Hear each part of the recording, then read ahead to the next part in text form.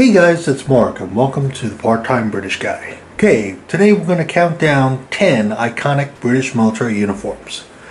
Let's begin. Number 10, Royal Air Force Flight Suit. That is pretty iconic as to what modern Royal Air Force pilots, RAF pilots now wear. Number 9, World War II RAF. This is picture of a Lancaster bomber crew. Note the iconic fleece jacket. Number 8, the modern Navy. This is actually a summer uniform. One of the things to note is that on the hat the sailors had the name of the ship that they were assigned to. Now, number 7, you have to forgive me. Uh, it's the old wooden ship era naval uniform, but I wasn't sure what it was called, so I simply put down Nelson's uniform, Lord Nelson's uniform. Number six, of course, is the Modern Army, which is seen in this video clip here.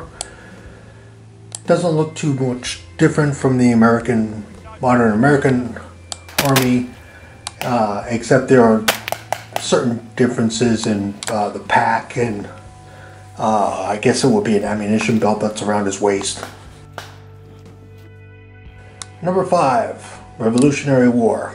Uh, anybody who's anybody always could recognize the Redcoats. Number four, World War II. Uh, British Tommies, or they were referred to as British Tommies, wore this uniform during World War II.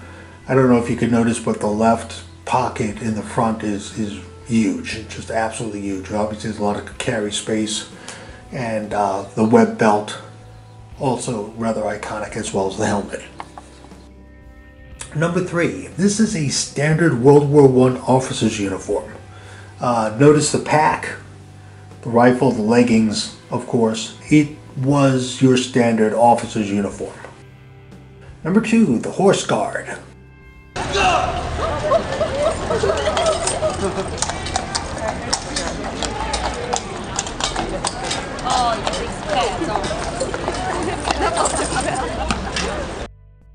and of course, number one, the iconic King's Guard.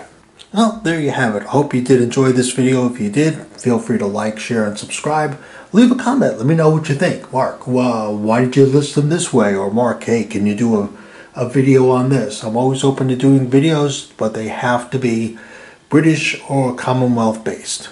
That's it. That's all the time I have. I'm Mark Stice. Thanks for watching the video.